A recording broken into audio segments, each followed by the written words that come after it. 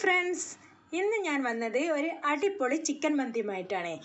നിങ്ങൾ വിചാരിക്കും ചിക്കൻ മന്തി എല്ലാവർക്കും അറിയുന്നതല്ലേ പിന്നെ എന്താ പ്രത്യേകത എന്ന് പക്ഷേ ഈ മോഡൽ മന്തി നിങ്ങൾ കഴിച്ചിട്ടുണ്ടാവില്ല. ഇത് ഏത് ബിഗിനേഴ്സിന് പോലും പെട്ടെന്ന് വെക്കാൻ പറ്റുന്ന ഒരു മന്തിയാണ്.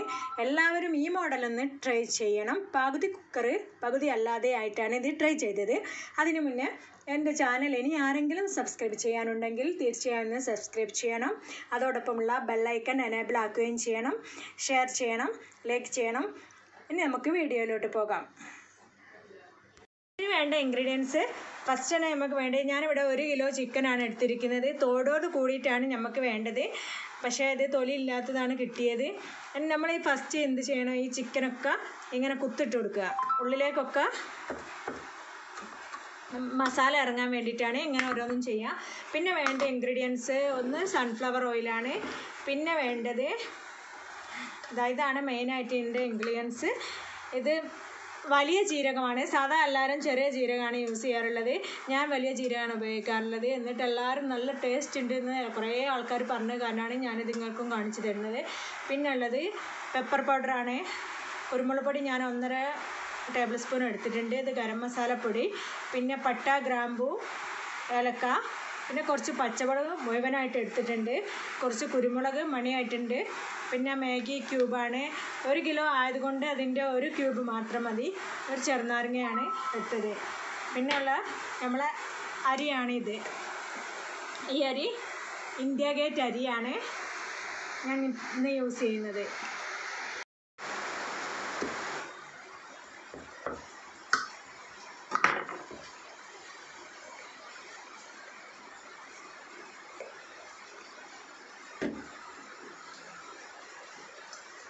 ഫസ്റ്റ് തന്നെ നമ്മൾ ചെയ്യുന്നത് ഈ മസാലകളെല്ലാം നമ്മൾ പറഞ്ഞ ഈ പൊടി ഇട്ടോ?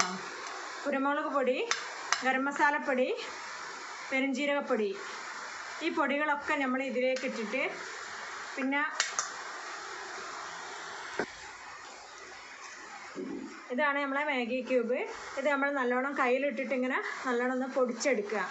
എന്നിട്ട് അതും ഇതിലേക്ക് നല്ലോണം ആക്കിയിട്ട് കുഴച്ച് കൊടുക്കുക. ആവശ്യത്തിന് ഉപ്പിട്ട് പിന്നെ ഞാൻ ഇവിടെ ഇത്തിരി ഒരു പഞ്ചസാര ഇട്ടിട്ടുണ്ട്. കുറഞ്ഞൊരു പഞ്ചസാര ഇട്ടിട്ട് കൊടുത്തിട്ടുണ്ട്. പിന്നെ ഇത്രയും ഇൻഗ്രീഡിയൻസ് നമ്മൾ നല്ലോണം കുഴച്ചെടുത്തിട്ട് ഒരു രണ്ട് മണിക്കൂർ ഇത് മാരിനേറ്റ് ചെയ്യാൻ വെക്കണം. അല്ലെങ്കിൽ ഒരു മണിക്കൂറെങ്കിലും വെക്കണം.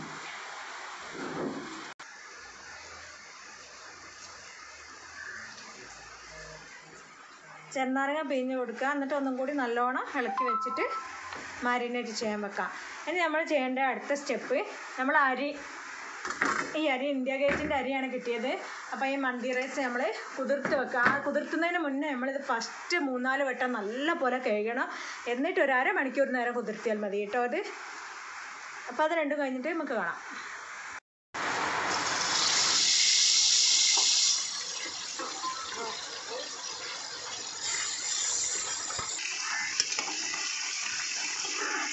ഇരുന്നൂറ്റമ്പത് ആണ് നമുക്ക് സൺഫ്ലവർ ഓയിൽ ഇതിന് വേണ്ടത്.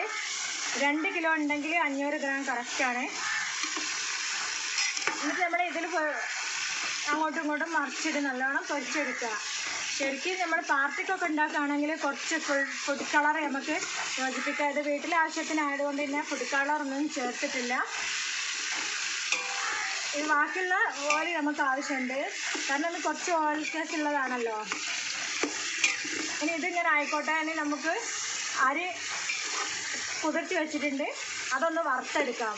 ആ വറുത്തെടുക്കുന്ന സമയത്ത് അരിന്റെ ഇരട്ടി വെള്ളം നമ്മൾ നമ്മളിപ്പുറത്ത് തിളപ്പിച്ച് വെക്കണം. ഓക്കെ? ഇനി നമുക്ക് കുതിർത്ത് വെച്ച അരി ചെയ്യാൻ ഞാൻ കുറച്ച് സൺഫ്ലവർ ഓയിൽ ഒഴിച്ചിട്ടുണ്ട്. അരി ഒന്ന് വറുത്തെടുക്കണം. അതിന് വേണ്ടിയിട്ടാണ് കുക്കറിലാണ് ചെയ്യുന്നത്. പകുതി കുക്കർ പകുതി അല്ലാതെ. പട്ട ഗ്രാമ്പു ഏലക്ക ഇട്ടിട്ട് അത് പൊട്ടിച്ചെടുക്കുക കുരുമുളക് പൊടി. കുരുമുളക് കേട്ടോ പൊടിയല്ല. പൊട്ടിച്ചെടുത്തിട്ടാണ്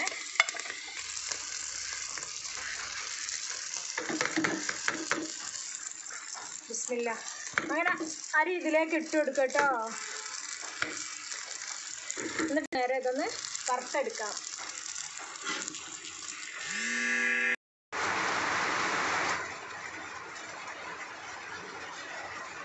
നമ്മൾ അരി തിളക്കുന്ന വറക്കുന്ന സമയത്ത് തന്നെ വെള്ളം വെക്കുക.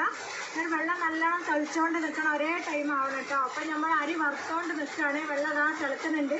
ഇതിൽ ഉപ്പിടണം. ഉപ്പ് നമ്മുടെ അരിനേക്കാൾ വെള്ളത്തെക്കാട്ടിലും കുറച്ചൊന്ന് മുന്നിട്ട് നിൽക്കണം. അരിയിലേക്കും കൂടിയുള്ള ഉപ്പാണല്ലോ. ഇതാ നല്ലോണം വറുത്തിട്ടുണ്ട്. ഒരു നാലഞ്ച് മിനിറ്റ് നല്ലോണം വറുത്തിട്ടുണ്ട്. ഇനി നമ്മൾ ഇതിലേക്ക് തെളിച്ച വെള്ളം ഒഴിച്ചു കൊടുക്കുകയാണ്.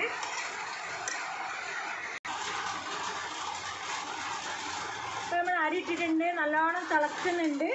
അപ്പൊ വെള്ളം തിളപ്പിച്ച് തന്നെ പാരണം കേട്ടോ. കാരണം ഇത് ചൂടാറാൻ വെക്കേണ്ട ആവശ്യമില്ല. പിന്നെ ഉള്ളത് നമുക്ക് കുറച്ച് പച്ചമുളക് എടുത്ത് വെച്ചിരുന്നു. ഇതൊരു ചെറുനാരങ്ങയാണ്. ഡ്രൈ ലെമൺ കേട്ടോ. അതും ബാക്കി ഉള്ള കുരുമുളക് മണികൾ എല്ലാം ബാക്കി എല്ലാ ഇൻഗ്രീഡിയൻസ് ഇതിലേക്ക് അങ്ങ് കൊട്ടി കൊടുക്കാം. എന്നിട്ട് നല്ലപോലെ ഇണക്കിയിട്ട് അത് നമുക്ക് ഒരു വിസിൽ വരണ്ട കേട്ടോ. ഒന്നും കൂടി ഉപ്പൊക്കെ നോക്കുക കറക്റ്റ് ആക്കുക. ഒരു വിസിൽ വരണ്ട വിസിൽ വരാനാകുന്ന സമയത്ത് നമുക്കിത് ഓഫ് ആക്കിയിടാം. ഓക്കെ നല്ലോണം വിസിൽ പോയതിന് ശേഷമാണ് നമ്മളിത് തുറക്കുന്നത്. അതും കൂടി പറയാം കേട്ടോ വിസിൽ ഒന്നും വന്നിട്ടില്ലേ. അല്ലെങ്കിൽ ഇപ്പതാ നല്ലോണം ആയിട്ടുണ്ട്. ഇതൊരു മുക്കാൽ വേവായിട്ടുണ്ട് കേട്ടോ. ശരിക്കും വേവേം ചെയ്യരുത്. കുറച്ച് നമുക്ക് ദമ്മിൽ വെച്ചിട്ട് ഒന്നും കൂടി വേവും. അത് നല്ലപോലെ ഇളക്കിയിട്ട് നമുക്കിത് ദമ്മിടാം. ഈ ചെമ്പ് തന്നെയാണ് ദമ്മിടുന്നത്. അപ്പം നമുക്ക് ഇതിൽ ആദ്യമുള്ള ചിക്കനൊക്കെ നമുക്ക് ആദ്യം കോരി മാറ്റി വെക്കാം. എന്നിട്ട് ഈ എണ്ണയിൽ തന്നെയാണ് നമ്മൾ ദമ്മിടുന്നത് കേട്ടോ. നമുക്കാദ്യം ചിക്കനൊക്കെ കോരി വെച്ചിട്ടുണ്ട്. ഇനി ഇതിന്റെ പകുതി എണ്ണ ഞാൻ മാറ്റി വെച്ചിട്ടുണ്ട്. അത് ആവശ്യമുണ്ട് കേട്ടോ കളയരുത് നമുക്ക് ഇതിലേക്ക് റൈസ് ഇട്ട് കൊടുക്കാം.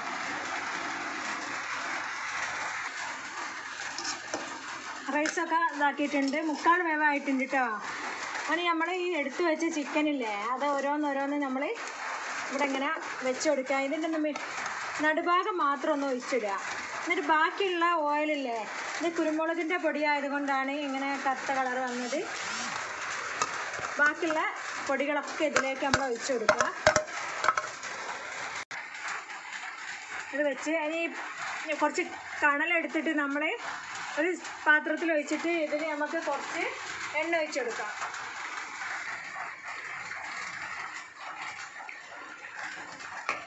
അങ്ങനെ ഈ പുക മാറുന്നതിന് മുന്നേ നല്ലോണം അടിച്ചു വെച്ചിട്ട് പെട്ടെന്ന് അടിച്ചു വെക്കാം. നല്ല എയർ ടൈറ്റ് മുടി കൊണ്ട് അടിക്കണം എന്നിട്ട് മേൽഭാഗത്തൊരു ഭാരം വെച്ചിട്ട് പ്രസ്സാക്കി കൊടുക്കുക ഇനി ഒരു പത്ത് മിനിറ്റ് ഇത് ചെറിയ തീയിൽ ഒന്ന് ദമ്മായിട്ട് നമുക്ക് വിളമ്പാം. ഓക്കെ നമുക്കിത് തുറന്ന് നോക്കാം. ഉണ്ടോ ഇനി ഇത് പെട്ടെന്ന് ഇങ്ങ് എടുത്ത് കളയാം. അപ്പം നമ്മുടെ മന്തി റെഡി ആയിട്ടുണ്ട്. സാധാ മന്തിയിൽ ആരും മല്ലിച്ചപ്പ് ഇടാറില്ല. അത് കുറച്ച് ഞാൻ ഇട്ട് കൊടുക്കുന്നുണ്ട്. ഇനി നമുക്ക് ഈ ഇറച്ചിയൊക്കെ മാറ്റിയെടുത്തിട്ട് ഒന്നായിട്ട് ഇളക്കി കൊടുക്കാം.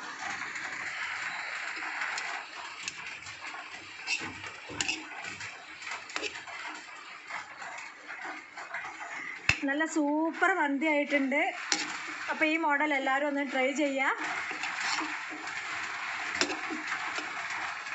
ഇനി ഇത് വിളമ്പുന്ന സമയത്ത് അതിന്റെ ചിക്കൻ അതിന്റെ മേലെ വെക്കുക. Thanks for watching